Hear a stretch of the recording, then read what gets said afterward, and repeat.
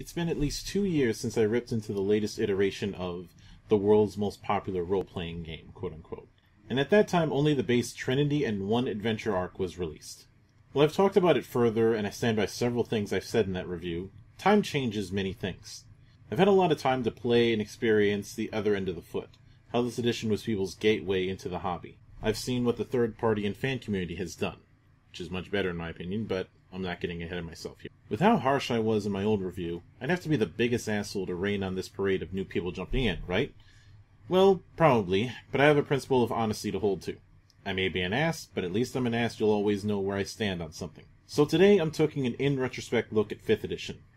From its beginnings as the next D&D to its current state in terms of its design ethos and how well the game's final design carries that ethos. It's time once again to head into that 20-sided breach.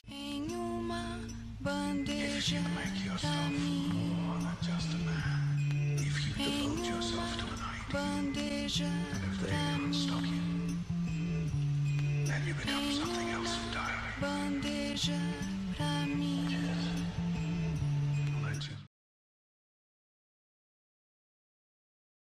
D&D 5th edition billed itself as the uniting of the editions. They spoke frequently on taking aspects from the various editions past of D&D to try and craft a unified whole.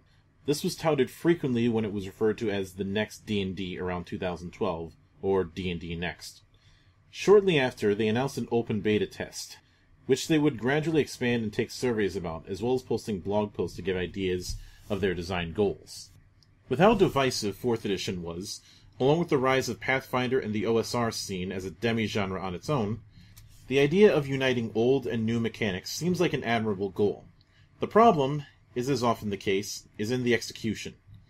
See, when D&D 3rd edition came out in 2000, it represented a massive tonal shift in two ways.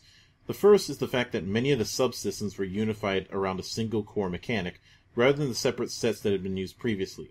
More importantly, 3rd edition placed a higher emphasis on individual customization with the retooled skill system and the introduction of feats. Advanced, conversely, was still significantly connected to its wargaming roots from the old chainmail days, with little in the way of character customization in the same manner and treating character classes more like a story arc. These two design philosophies are diametrically opposed to each other, and one of them has to go. But 5th edition wants to have its cake and eat it too. It wants to be simple and streamlined without mechanical bloat, but also give you the ability to customize your toolsets. It wants to allow for any style of fantasy, while still adhering to the Tolkien melting pot. While this could feasibly work, it would require a rethinking of several mechanics to fit into its new style to determine what does and doesn't fit. This is something they are unwilling to commit to, and the result is a designer's no man's land. Further complicating this matter is a contradictory attitude that was exhibited by the fanbase. Many times I'd see demand that D&D act much less gamey and have more role-playing, while at the same time the people who'd voiced those concerns would be running hex crawls and dungeons delves. The murder hobo game, in a sense. In trying to please all its masters, it took the path of least resistance. Essentially, it became a flagellant whipping itself in the streets in penance. One claim I've made in the last few years is that D&D is a victim of its own traditions. To be clear, I'm not arguing that the motifs it has built over the decades are wrong, but rather they are accepted as gospel for gospel's sake. Many times certain mechanics have been used because that's what you're supposed to do, as if that instantly justifies something that might or might not be on shaky foundation. During the D&D Next surveys, there were multiple times where the question of which of these items is important to you to make the game feel like D&D. These questions would list various spells, items, or monsters in the survey. Now I'm paraphrasing, of course, but that was the general angle with most of the surveys conducted. It was sort of like the no character, no buy attitudes from certain fighting game fans. This, to me, was a red flag. It implied to me that their priority was not in learning from the positives and negatives of previous editions. Their priority was instead overcompensating for 4th edition's changes because change is bad, okay? Once again, as I said in my video on 4th edition a while back, despite its problems, there were genuine advancements made. But throwing all that under the bus misses the point of why those advancements were made in the first place. Speaking of which, I said in my initial 5th edition review that a lot of the game's use of older mechanics didn't seem to understand the purpose of why those mechanics were implemented to begin with. In addition, several mechanics introduced during the playtest were hampered or restrained in a way that doesn't play to their strengths. To use a few examples, the maneuver dice was a resource that several martial classes had access to, namely the barbarian, fighter, monk, rogue, and cleric at higher levels. These dice would be a group of d6 that would range from 1 to 6 depending on your level. The dice could be utilized in one of two ways either A, rolling them as extra damage, or B, spend them on maneuvers. Many attack like feats and some class features are treated as maneuvers, such as Bull Rush, Flurry of Blows, and Lunge. In a move not too dissimilar from lands in Magic the Gathering, maneuver dice are recovered at the start of each turn. While this mechanic would be utilized in 5th edition, it would be taken from a semi universal idea and reduced to simply a subtype of fighter, the Battlemaster. Being essentially 5th edition's answer to the excellent Warlord class from 4th edition, the Battlemaster's maneuvers focused only on group tactics and little else. The message that was sent was that they didn't want martial characters to get too interesting, because that's what spellcasters are for. Okay, that's a bit hyperbolic on my part, but considering that an entire generation of players see fighters and barbarians as easy mode, only reinforces my disdain for the linear warriors quadratic wizards, to steal a term from TV tropes. I'll probably delve into this further on in a later video. To put on my backseat design hat, I'd rather expand on this idea further by having maneuver dice be usable for boosting attack, AC, or damage, but not more than one at one time. Furthermore, instead of it being d6s, have the maneuver die be able to increase or decrease their size based on their use. For example, a barbarian's rage might make damage boosts rolled as d8s, but they could not use dice on defense boosts. This could be expanded on with feats, such as allowing dice to be used on saving throws or to use spell maneuvers with a feat. Fantasycraft does something not too far off with its action dice, so I don't see a reason why D&D can't steal from the best. This may be a little controversial, but in my opinion, D&D has struggled with skill systems because it was never really designed for them. 3.5 had far too many skills and too few points to distribute unless you were a skill monkey type character like a rogue.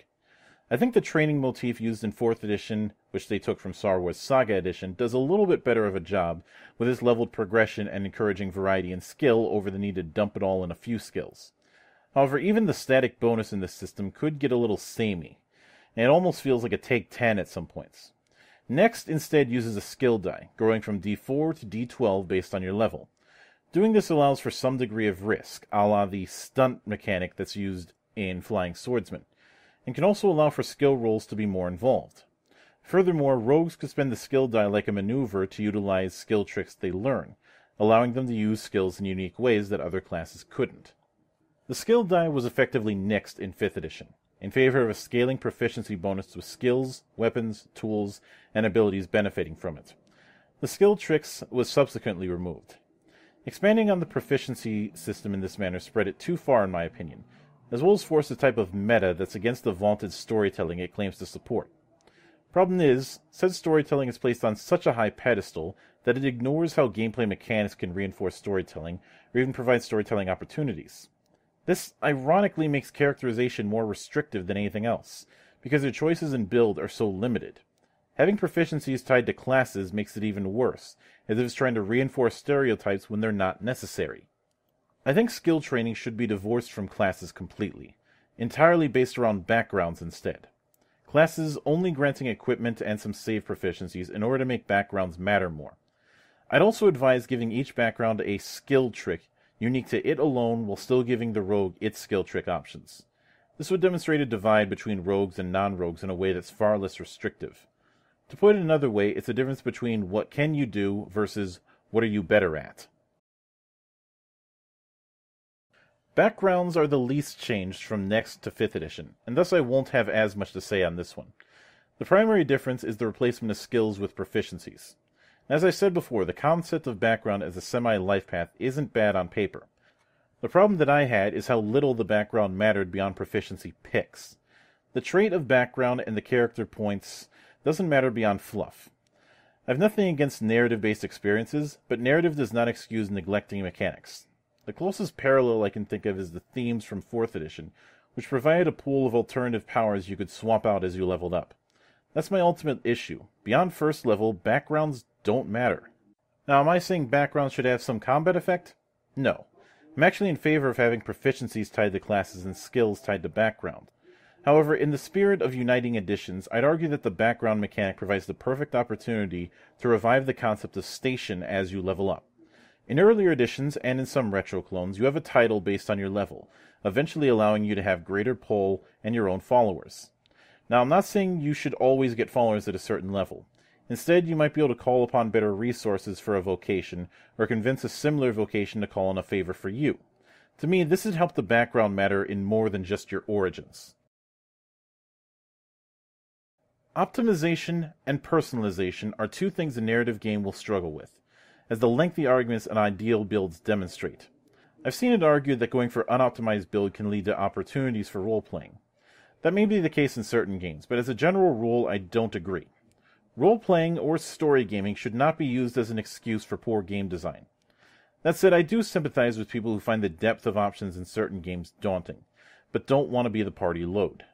Packages, in my opinion, were an excellent compromise. They provide a themed suggestion to build off of and deviate when people are more comfortable with things. Next, address this with certain packages that could be picked from, ranging from the monastic traditions for monks to the fighting styles for fighters to rogue schemes for rogues. This, along with the specialties we'll get into later, allows for a framework of build, but one that provides enough wiggle room to personalize the character beyond mere fluff. Much of this was reduced to a feature at each class for first level for their respective classes. Those that weren't were integrated into the subclass system. And my problem with this is that it limits potential setup severely, leading to the stereotypes I talked about before. With Next and 5th edition being a uniting of the editions, allegedly, and a culmination of D&D's history, also allegedly, it'd be a perfect opportunity to steal from a previous iteration of D20 again, namely D20 Modern's talent trees. Treat each package, in this case, fighting style, rogue scheme, etc., as a talent tree that one may pick from as they level.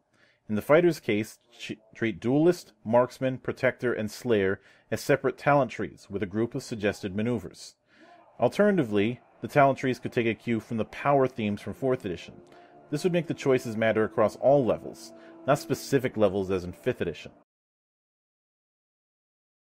When feats were introduced in 3rd edition, the idea was to allow a degree of personalization to a character's abilities beyond their race and class.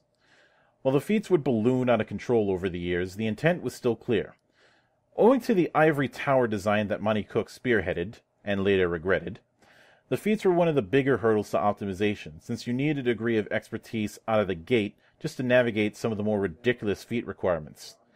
Next answer to this was the specialties essentially a themed package of suggested feats based on a specific approach.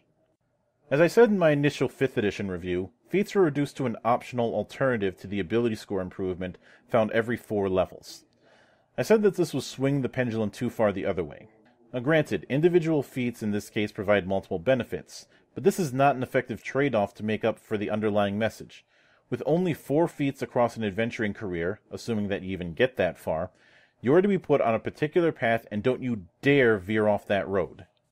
Personally, I'd opt to keep the specialty package idea. It's not too far removed from the themes seen in player guides and other games. Two examples that come to mind are the Runner's Companion for Shadowrun and the Charm packages in the Exalted Player's Guide. Once again, I would take some cues from Fantasycraft and organize the feats into specific categories, while lightening up on the feat requirements. Doing this would be an effective way to make clear what would be an effective build option for character archetypes without pigeonholing them into that setup. I'd also be remiss if I didn't mention that Pathfinder 2nd Edition's feat system isn't doing something too far removed from this, but I'm basing that solely on the previews. Hit dice and 5th seem to be a successor to the healing surges from 4th edition, but only understanding it as a means of self healing. The reason healing surges were introduced into 4th edition was to lessen the burden of a dedicated healer, and by being based on a set amount made it fairly reliable. Iron Heroes had a similar approach, but instead gave you a secondary pool to draw from. I've seen people treat healing surges as unrealistic, a la they gave people Wolverine level healing. But I find this faulty due to the fact that hit points are not akin to wounds in other games, but I digress. It seems that hit dice want to be a small pool of emergency hit points, but having it randomized completely can discourage use and encourage hoarding. Essentially, they wanted to still have hit dice, but not making them too unrealistic. This results in them without understanding why they were a presence to begin with. They don't add or take away any dynamic. In my review of Star Wars Saga Edition, I criticized how the expansions were extremely grab bag, having fluff and crunch for multiple classes at the same time. This can make builds difficult to reference, as they'd have to dig through multiple source books at once. D&D 3rd and 4th edition, for the most part, did not have this problem. 3rd edition had the complete series of expansions, while 4th had the Power series of books. In 5th edition, in the name of reviving AD&D's modules apparently, they end up bringing back this problem. Only just recently has there been a first party sourcebook that is solely geared toward one aspect of customization. The much ballyhooed Xanathar's Guide to Everything, which is just a collection of items presented in the Unearthed Arcana series of free PDFs, is the only PC focused sourcebook released by Wizards that I have so far. The majority of the first party content has either been setting pieces or modules that have material for GMs and players simultaneously. While I'm fine with this kind of sourcebook from time to time, when it becomes the norm, I have to take issue. I understand that they might want to avoid sourcebook bloat, which is admirable, but I maintain that's no reason to stuff everything into singular books while expecting the third party and the fans to pick up the slack. But I know why they took this module based approach. I don't like the reason, but I know it.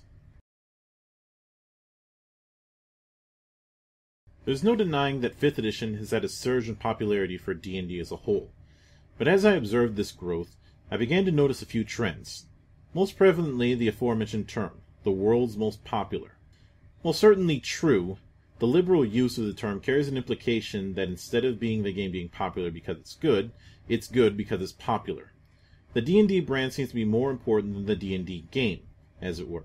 Hence the repeated use of most popular in its labeling and descriptions something that was not used in previous iterations, or even during the D20 bubble in the early 2000s. It is the name of being popular that seems to be at the heart of many aspects of 5th edition's design. Consider the following. Why focus on module expansions and Adventurers League, to mimic Pathfinder's adventure paths in society? Why have simplified character customization, to mimic the design choices in the OSR scene? Why have narrativist aspects like background and inspiration, to mimic the aspects in Fate and other narrative centric games? Why treat Forgotten Realms as the default setting? Because it happens to be the most popular one through its exposure in the video games. It's certainly understandable, but not exactly admirable. In hindsight, it's amusing that 4th edition was accused of trying to turn D&D into an MMO. While I've already said my piece on that claim, I would also argue that 5th edition is trying to be like everything else. It's akin to a AAA video game from a major publisher in both good and bad. I believe that a new addition to an RPG should build and progress upon the efforts of its predecessor. It's a time to examine what fundamentally works and what doesn't. Fifth edition is not a progression, it's a retreat. Something I find fairly telling is the words used by the loudest voices in favor of fifth edition. It's not as bad as fourth. It's got a lot more freedom. It's the greatest hits of the editions. It's easier to get into, and so on. What I do not often hear from these people is what in the game's mechanics specifically they like. What about playing this game specifically they like? For myself, there's little of that 5th edition does that I can't just find just as easily or better in other fantasy games. All of this speaks to a loss of identity. Dungeons and Dragons has been suffering from an identity crisis for quite some time, especially due to having far too many masters to answer to. And it's unable to determine what it brings to the table other than its large fan base and production values.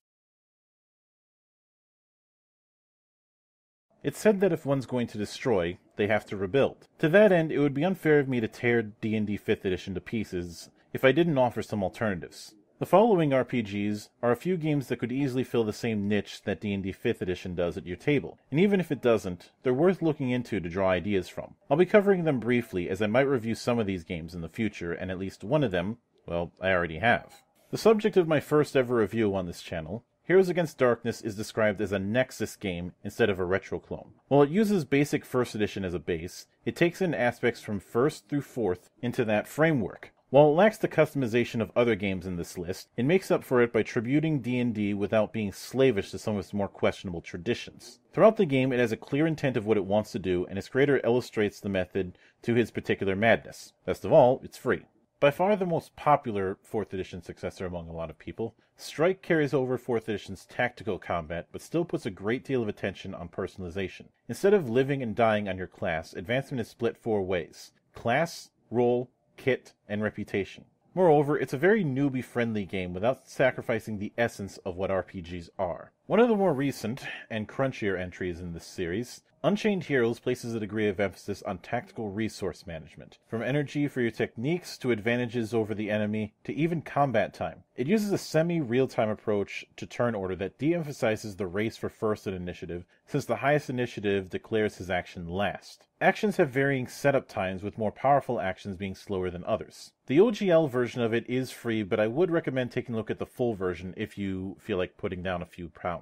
Not to be confused with the version of RuneQuest that Mongoose made when they lost the RuneQuest license. Legend System is a heavily modified version of 3.5 that is based around empowering player control while smoothing some of the rougher parts of it. Through its track system, Legend is one instance where multiclassing is not only feasible but actively encouraged. As a result, builds that might have been an extreme stretch in other games are perfectly doable here. Developed by 3rd Edition's Jonathan Tweet and 4th Edition's Rob Heinsoo, 13th Age is a pure hybrid of ideas between the two of those editions of D&D. Acknowledging the flaws of both, 13th Age combines the customization and unified mechanics of 3rd with the ease of play and tactical balance of 4th, in both cases not relying on miniatures. In addition, 13th Age introduces an escalation die mechanic that represents rising momentum and advantage as battles pass. The writing itself contains a great deal of asides from the developers, explaining why mechanics were done that way, design ideas they like deviating from, and sometimes providing differing suggestions to issues.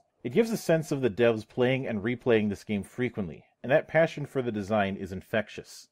An easy way to describe Fantasycraft is to compare its design ideas to that of Pathfinder. Pathfinder intended to improve on and extend 3rd edition's issues and strengths. Fantasycraft instead chooses to break down the D20 system to its core concepts and rebuilds everything from the ground up. What results is a game that's the most modular and customizable form of D&D and puts a lot more emphasis on being multiple types of fantasy instead of a series of vague ideas. Its tagline of your dungeon, your dragon, your way is an apt descriptor for the amount of control that players and GMs have within it.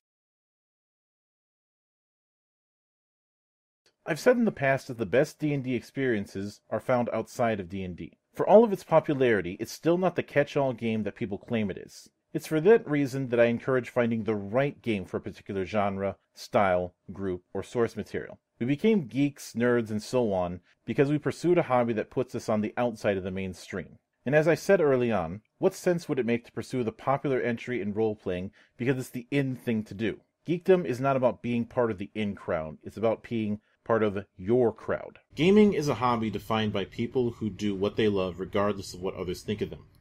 What passion for the medium is found in popularity?